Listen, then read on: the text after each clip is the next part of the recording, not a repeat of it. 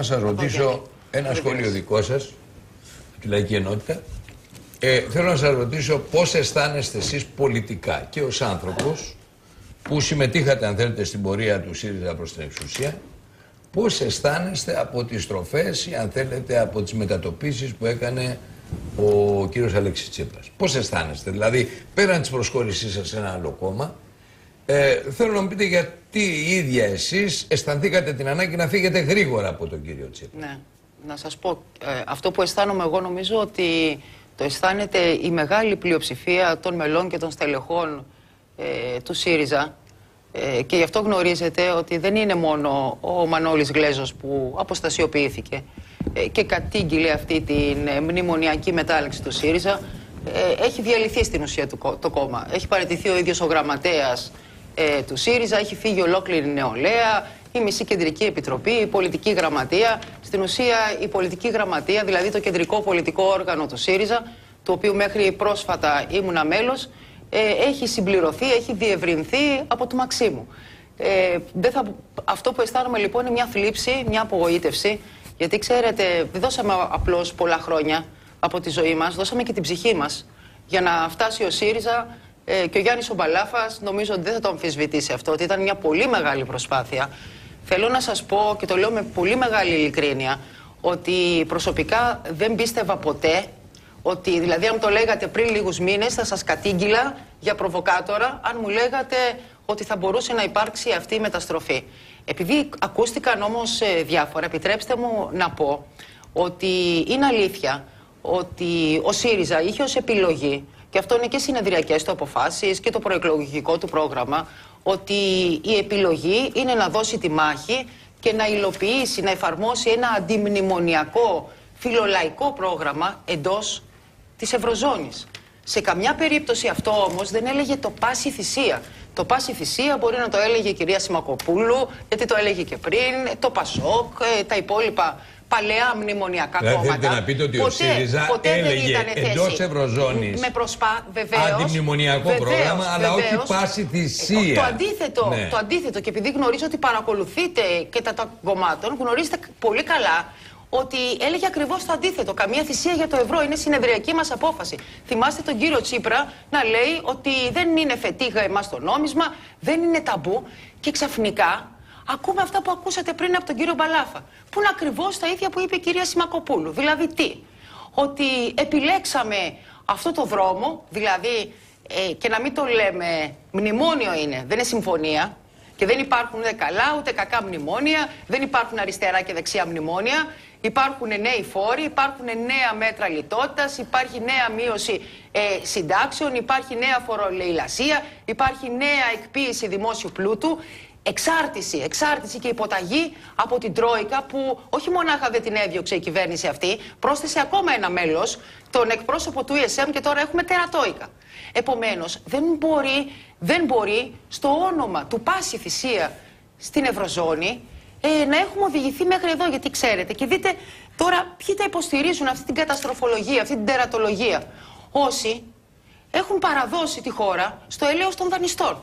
Επειδή δεν μπορούν να βγουν στον ελληνικό λαό και να πούνε ναι, υποκύψαμε στους εκβιασμούς, ναι, ε, θα σου μειώσουμε τους μισθούς, τις συντάξεις, γιατί ε, ε, είναι, επικράτησε ο κύριος Σόιμπλε, γιατί το σχέδιο του κυρίου Σόιμπλε τώρα επικράτησε. Αυτό εφαρμόζεται. Αυτό εφαρμόζεται. Η παράδοση στα, της χώρας και του ελληνικού λαού στα συμφέροντα του γερμανικού ευρωενωσιακού κατεστημένου. Περί αυτού πρόκειται. Επειδή λοιπόν δεν μπορούν να το πούνε έτσι ευθέως, τι λένε, ότι το άλλο θα ήταν η απόλυτη καταστροφή αν ερχόμασταν σε σύγκρουση με τη, με τη γερμανική ναι, αλλά Ευρώπη. Επιμένει ο, με, συγχωρείτε, ναι, ναι. με συγχωρείτε, ένα λεπτό μόνο. Βεβαίως. Επιμένει ο κύριος Τσίπρας ότι ήταν με τον πιστόλι στον κρόταφο. Ναι, ναι. Επιμένει ο κύριος Τσίπρας Ναι. ότι Εκβιάστηκε. στις 17 ώρες εκείνε Εκβιάστηκε, έδωσε τη τα μάχη πούμε, του ναι. Διγενή.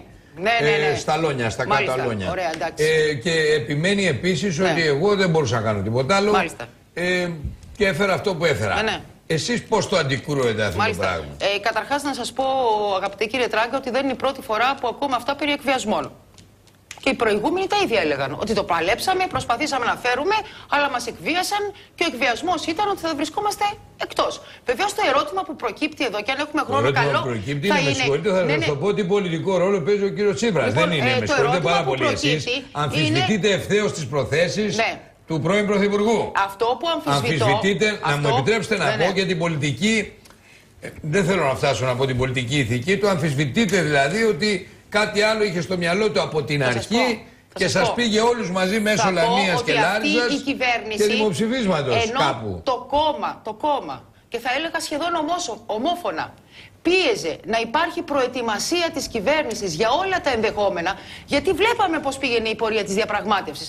Έβλεψε ότι από την πρώτη στιγμή δεν ήταν διαπραγμάτευση, ήταν ε, ε, διαρκώς ε, εκβιασμοί, ε, και ε, πήγαινε το ένα πρόγραμμα ε, νέες απαιτήσεις. Επομένως, έπρεπε να ήσουν έτοιμος για όλα τα ενδεχόμενα Όταν και σας όχι είπε το να πάτε τελευταία στο στιγμή, δημοψήφισμα, με στην συγχωρείτε, τελευταία στιγμή. Εσείς ψηφίσατε όχι στο δημοψήφισμα. Προφανώς, όπως Όταν ψήφισε το ρίξατε το όχι σας στην 62% κάλπη, και την επόμενη τι μέρα έγινε ναι. πιστεύατε; Ορίστε. ότι θα το αξιοποιούσε ο Αλέξης Τσίπρας. Πήγατε γιατί και ήταν δύναμη. ρίχνοντας το Ήτανε όχι, δύναμη. πιστεύατε ότι ο Τσίπρας πάει με το όχι να κοντράρει. Προφανώς. Έκανατε Μα λάθος. γι' αυτό με συγχωρείτε, ο ελληνικός Ναι. λαός όταν ψήφισε, δεν ξέρω εσείς τι ψηφίσατε. Όταν ψήφισε ο ελληνικός λαός και σε αυτή τη, τη φοβερά αντίξωη σύνδεξη, ήταν κλειστές τράπεζες, εκβιασμοί, όλο το μηντιακό και ευρωνοσιακό κατεστημένο ήταν πάνω ε, στο, στους, στους Έλληνες και τις Ελληνίδες που προσέρχονταν στην κάλπη για να ψηφίσουν. Γιατί το έκανε και τι είπανε, το όχι τι ήτανε. Όχι στους εκβιασμούς, όχι στην, ε- στην υποταγή, να μην γίνει η Κυρία χώρα μας Παπαδογιάννη, κάπου πρέπει να γερμανική φτάσετε. Τι του απικία. προσάπτεται; Αυτό λοιπόν. Μισό λεπτό. Τι του προσάπτεται Αυτό του που- ανθρώπου; που προσάπτουμε, Μικρές αυτό αντιστάσεις, που προσάπτουμε, δόλο, αυτό που ε, προσάπτουμε, με αφέλεια. θα σας πω. Τι του προσάπτεται του Θα σας ανθρώπου; πω. Θα σας πω. Αρχηγό τον είχατε, σας τον πω. βοηθήσατε, έγινε πρωθυπουργός. Ότι- Εσείς τώρα ότι- λοιπόν ο ότι στέλεχος του ΣΥΡΙΖΑ, του εγκαταλείφθηκαν. πρώην ΣΥΡΙΖΑ Ναι. που είσαστε, πρώην στέλεχος, Ναι. τι του προσάπτεται, αφέλεια, Ότι εγκαταλείφθηκαν. απειρία, Θα σας πω. αμέλεια, Θα σας πω. ε, τι του προσάπτεται, Ναι, να σας δόλο. Ε, α, η κριτική είναι ότι ο ΣΥΡΙΖΑ εγκατέλειψε όλες τις προγραμματικές του δεσμεύσεις. Όλες, το σύνολο.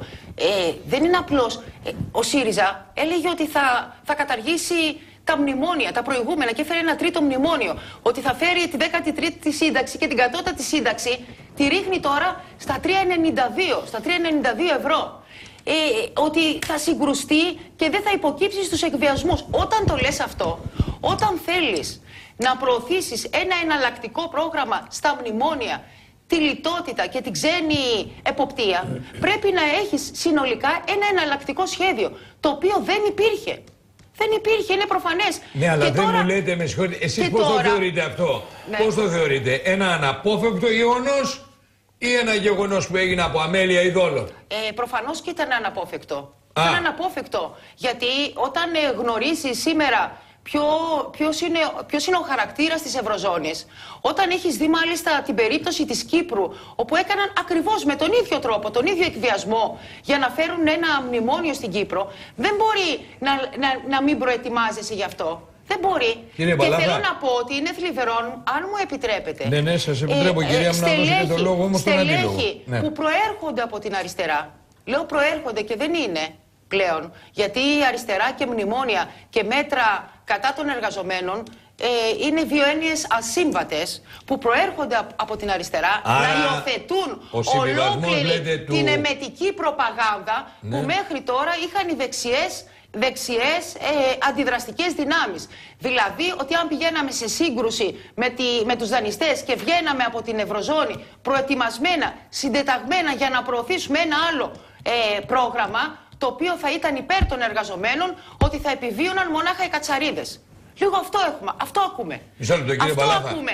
Και Όπως γίνεται, βλέπετε, η- κύριε Τράγκα, η πρώην μόνο και σύντροφός μόνο, σας- μόνο και μόνο για Ναι. να καλυφθεί το που μας έχει οδηγήσει η πολιτική πάση θυσίας στο ευρώ. Γιατί θέλω να μου πείτε εσείς που ε, αν έχει υπάρξει άλλη εποχή στην ιστορία αυτής της χώρας που να έχει φτάσει η ανεργία των, ε, των νέων 60% έχει υπάρξει, που να μην είναι πόλεμος ή εμφύλιος, έχει υπάρξει στην ιστορία 60% ανεργία των νέων. Έχει υπάρξει ποτέ 25% ύφεση. Ούτε σε, σε, σε περίοδους πολέμου. Οι προβλέψεις και οι Πρέπει να βάλετε εκτιμήσεις μια τελεία. είναι ότι και το τρέχον έτος και το επόμενο θα Ε, έχουμε πρέπει να ύφεση. βάλετε μια τελεία. Πηγαίνουμε στο 30.